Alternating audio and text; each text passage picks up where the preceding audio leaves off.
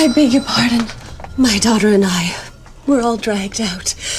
Our wagon had lost an axle and we had to hold up in Folger's Pass. We've eaten nothing but horse meat for months.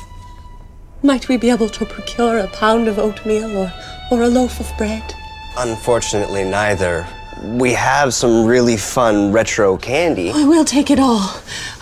Now, I'm assuming you trade in horse meat? It's fresh.